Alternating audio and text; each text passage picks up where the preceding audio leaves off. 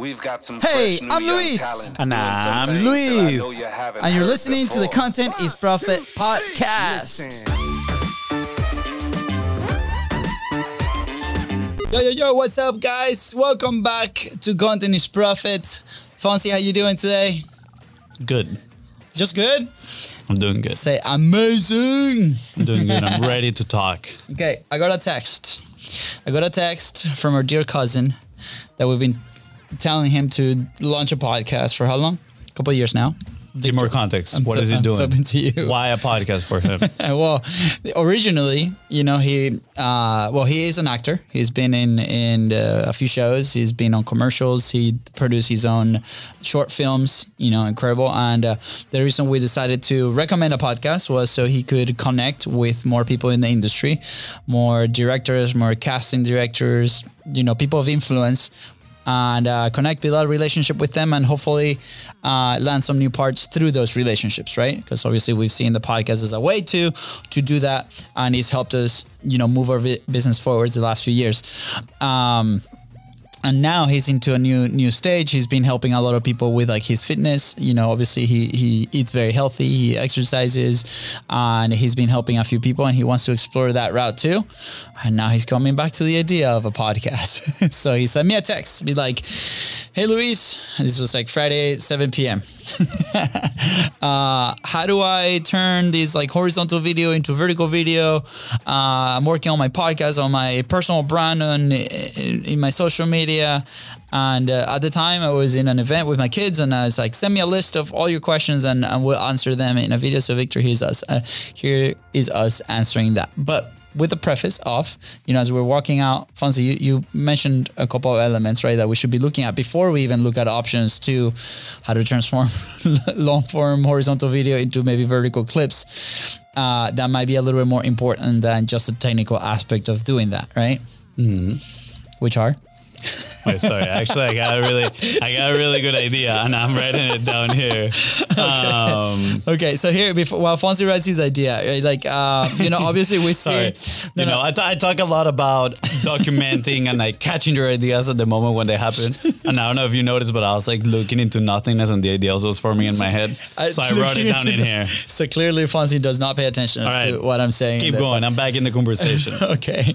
So obviously, you know, in modern media, right? And if you haven't listened to the previous episode, go listen to it because we talk about the political campaigns and how they're using long form and podcast episodes to, you know, help gain some audience. But obviously, we see long form episodes, we see short form, you know, vertical video, talking heads, all these influencers teaching, entertaining, like all these things. And uh, and as a consumer, we might be excited to try something like that, right? Or mimic a format or model or even copy sometimes. And we have a great episode on, you know, why you should not be copying content.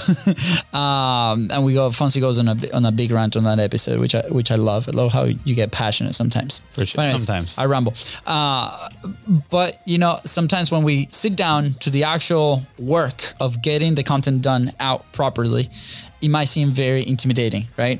And that's why we see a lot of entrepreneurs, a lot of business owners, uh, or even creators, right? That they start something and then they don't, they cannot stay consistent. And we raise our hand. That was us for many years, right? We've we've helped people that have been in that that train for quite a while as well. So um, that's the premise, right? It's like, okay, what are the things that we should be looking at even before trying to, you know, uh, edit the video the right way? I'm doing air- air quotations um, as we move forward. Bro, stop kicking the lights. Why are you kicking the lights? I'm moving it, bro.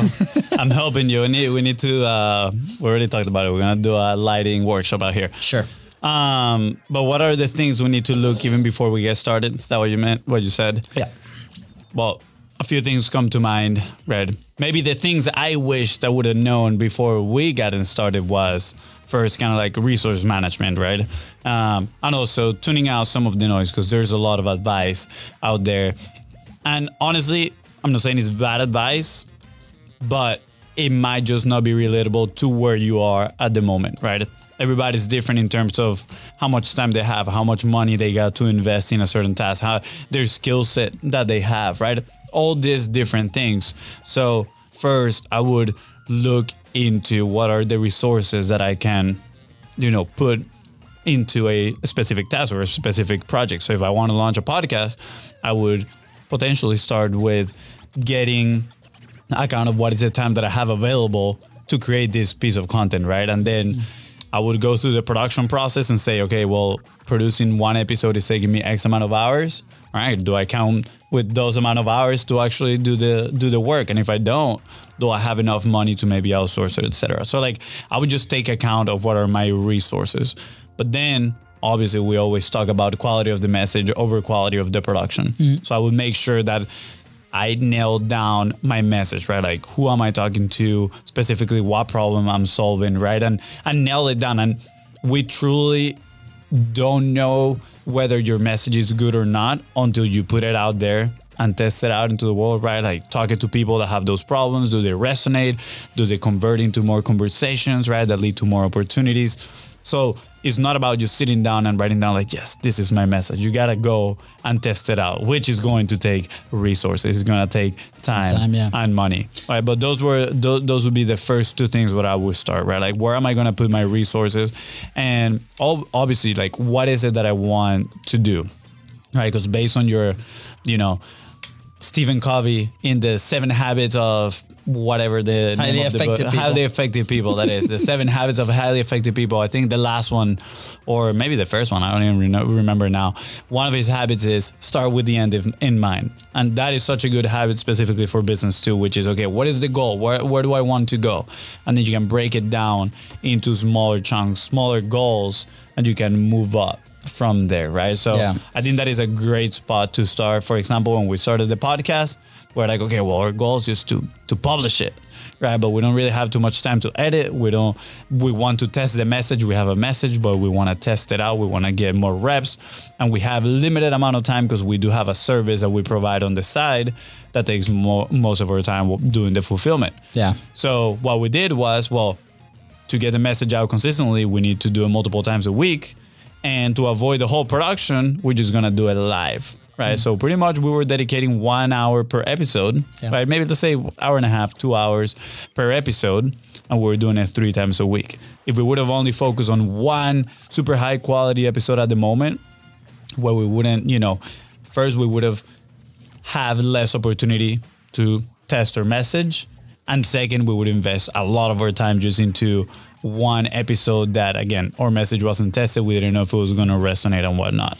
So, Yeah. you know, I think that was our approach on, you know, th- having an end in mind and then starting that way. And then eventually, as the podcast grew, we managed to increase resources and now we can drop them back into the podcast and have a better product. And what one question I would urge you to to ask yourself is like, do you do you enjoy the idea of creating the way that you want to create? Right?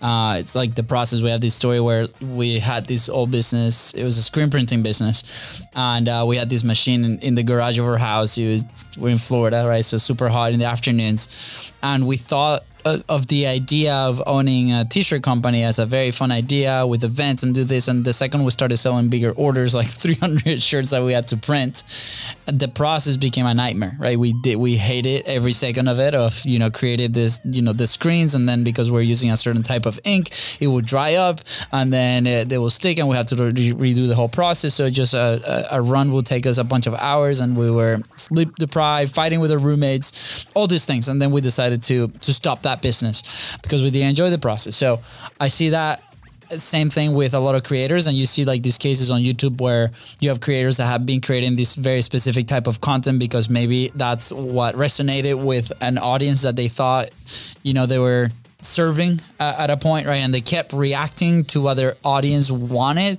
and then they end up creating this flow that they don't really enjoy and then they get to burnout for example right? So are you truly enjoying it? Like is the people are the people in your company enjoying the creation process right? Do they really want to go into a youtube heavy video production type or do they enjoy more conversational content where they can sit down and talk with leaders in, in the world whatever right? Whatever that that is do you actually enjoy it? Because that's to help you stay consistent for a longer period of time. We enjoy this time together. We enjoy bringing guests into our show right? We the, it fills up up with energy, and that's why we do it. I think that's one of the main reasons of what we being able to keep the consistency going. Once you have that base, once you continue to work on your message, then you can start adding these pieces on production wise. Like, okay, how can we get better footage? How can we look better? How can we maybe do an edit that serves the message, right? Yep. Uh, how can we hire a production manager that can help us out, right?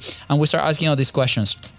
And again, if you want to start from scratch, like some companies do, with a higher production uh, value because that's their belief and maybe they have to maintain that level of quality at some point, uh, then consider that it might be a steeper learning curve, right? Or it might be uh, a bigger investment in the team that's going to get you there, right? And I think that's where I always recommend, you know, start creating organically, you know, yourself and see if that's a format that you really like to like to do. And you know, with, with our cousin, shout out to, to Victor, for example, like he's documenting a lot of his, you know, day to day because he's already working out, he's already doing these things. So in his main social media platform, he's documenting these things live and uh, puts content out there. People are having conversations with him, and then this is encouraging him to continue to create, just like this podcast did for us. So I yeah. think those elements are super important for you to, you know, take account. And yeah. I think it's very easy to get distracted too with the technical aspects of things, right? Like he, his question was like, all right, like I'm creating this type of content. How do I turn it into vertical and all this stuff? And I mean, depending on the type of person that you are, right? But I know personally that for me, those technical challenges then become into rabbit holes would then become into distractions. So I would go and be like, all right, how do I turn this into this? Oh, I need a video editing software. Let me go. Oh, I downloaded the video editing software. Let me learn every single aspect of it that I'm never going to use, but I still need to know how it works. right? And I go on a diff- different rabbit hole. It's like, oh, let me make cinematic uh, movies, whatever, all these things, right? And at the end of the day, it's just distractions that are taking you farther away from your original goal. So keep that in mind. If you're that type of person that does that, right? And again, there's nothing wrong on learning new skills, nothing wrong on trying to attempt to do the things uh, by yourself, right? But keep in mind, you know, maybe ask yourself, is this the best use of my time, right? Yeah. Because if not, it might be just better to, you know, at the lowest level, go on Fiverr Upwork and hire somebody to do that one specific task for you so you can put your attention into what's going to yield the highest results, right? So, for example, you know, in retrospect, maybe for us, where we yield the highest, you know, source of value from our podcast is investing our time into inv- inviting new guests, right, of the right caliber into content is profit, right, rather than let's spend our time multi-purposing the content, right? Like for that, we have a team. We have a team that is doing that aspect, which is important, right, because it's distribution. But for us, it's more important building the relationships that we're going to bring into the podcast. So guess what? Sometimes you're gonna have to choose. Sometimes you're gonna have to decide whether do I really need these clips or do I, you know, invest into meeting people and bringing them into the show, you know, and maybe again, every case is different. But for you, depending on what your priorities are, what your goal is, what yields the most value. It might be bringing new people, right? Connecting with people. Or for you, it might just be, you know, distributing the content in multiple channels. So again, get clear on what is your goal, what you're going to do. And then based on that, you can backtrack and see what are your priorities, right? You need to prioritize, yeah, you know, specific actions so you can get where you want it to be. And I think it's very easy to get lost again on, you know, I need to post all this content and multi-purpose my content and do X, Y, and Z just because a lot of big people with big names with very successful platforms are doing it that way. But guess what? There's not one way to do certain things, right? I remember growing up or that I used to say all the time, like, uh, all paths lead to Rome. That was like a saying that he would say all the time. And, you know, looking back into it, like, it's the same thing. Like Rome is the goal. Like that's where we're going. But there's no one single path to do so, right? Like there's people that grow podcasts through, you know, BOPA, borrowing other people's audiences, or there's people that grow their podcast through advertising, or there's people that grow it organically. There's many different ways to achieve one single goal. So again, taking care of your, you know, taking into consideration your resources that you have at hand, the goal, you know, that place where you want to be, and obviously you as a creator, how you like to create and do things, then you can pick the right path for you. And at the end of the day, you do need to stay consistent with what you do, at least long enough to have tangible results that can let you decide whether, yes, I want to go and follow in this path, right? I'm going to keep going is, is offering steady growth. Or if it's not growing, you can pivot and say, okay, I'm going to do plan B, right? I have this hypothesis that if I do X, Y, and C, is going to yield these results and then you go and try that until you have measurable results and then can form yeah. another decision. Yeah, I think a good way to look at it is imagine it's a science experiment, right? Uh, you have the hypothesis that you think is going to be true, test it out uh, for a fixed period of time, and then you decide it's a good thing to continue or not and move things forward. Um, and then, you know, as we wrap up, we are going to answer Victor's question on how to turn the horizontal yeah, we're video. Just send that. We're just gonna send them this clip into into short form, right? So, uh, so his, his original question is like, how do I do to turn a video that I originally recorded for YouTube that's horizontal into vertical, and you know, so we can put it on reels or in shorts and different things like that. So, with that said, there's a few applications that you can do. So, a lot of obviously any editing software you can change the format of the video itself, but like Fonzi said, there's a learning curve for each one of them. One that we use that I personally love because I'm not that technical, it's called Descript. Uh, we're gonna put the link right below. Fonzi, obviously, any Adobe product can do it. Um, there's also our partner company Which just released a clipping feature, which you literally put the video file in there, and on top of uh, giving you a lot of copy for like your podcast description or your YouTube video description and, and social media posts and different things. Uh, it extracts some video clips from it and it gives you headlines and captions as well. It's actually amazing what they're able to do. Uh, and obviously, there's if you Google how to multi-purpose or you know do content online that way, there's gonna be a thousand uh, companies that have popped up with this new AI that can do something similar. But uh, on our specific case, if you, I mean, we do that as a service um, a little bit to you know high end podcast but we're happy to help you in part of the process. If you want to learn it just send us a quick message and we're happy to hop on a call with you and kind of walk you through through our process is what we've done the last five years. So uh, the second question that he answered is uh, is there an app on the iPhone? So this is, I think, a very good question because a lot of people might not have a higher quality camera or maybe even a laptop, right? To like that that can process that that amount of footage. But these little machines that we have here have incredible quality when it comes to video, audio, and different things. There's an application that I personally love. It's called Captions uh, that can do something very similar. And on top of that, it facilitates the way that you can edit those social clips, right? You can add different formats. I mean, to a point that they have, I think, a feature that does a very highly edited production value like clip. When I sent it to Fonzi, it's like, man, this is pretty impressive that a machine can do this automatically. Uh, but then there's did also yeah, I did. You were like you you mentioned the name of a of an effect that I didn't really know what it was. Mm. Uh, you're like, oh, it's crazy that it can do that effect.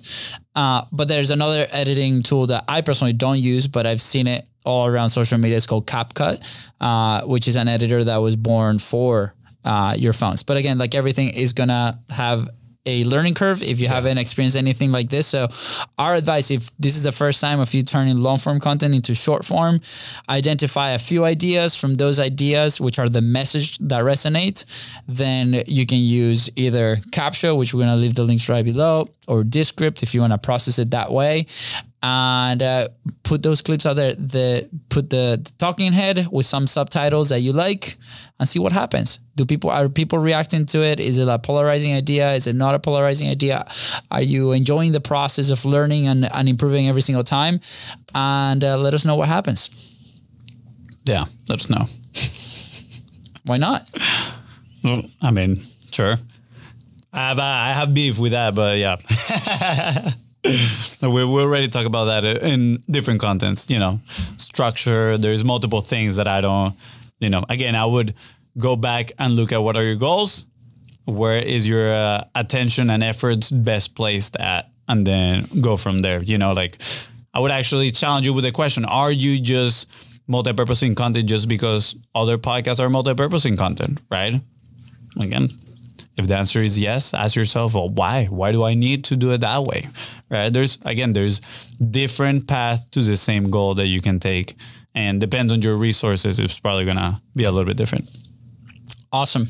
All right. With that said, guys, Yeah. Thank you so much for tuning to the Contents Profit Podcast. Go ahead and follow the show in your favorite podcasting platform and on social media at Base Bros Co. That is right. In today's episode, help you move one step closer towards your goal, please don't forget to share this episode. And of course, don't forget to leave a five star review. See ya.